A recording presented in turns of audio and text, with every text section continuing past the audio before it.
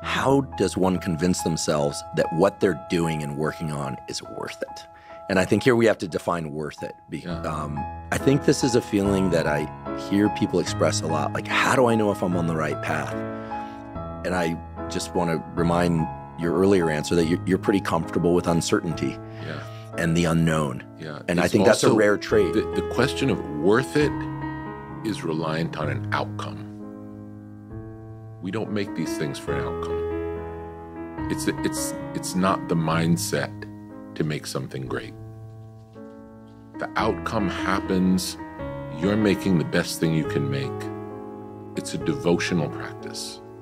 Whatever happens after that happens. And that part that happens after it is completely out of your control. Putting any energy into that part that's out of your control is a waste of time. All it does is undermine your work. Your work is to make the best thing you can. So any thought you have about outcome undermines the whole thing.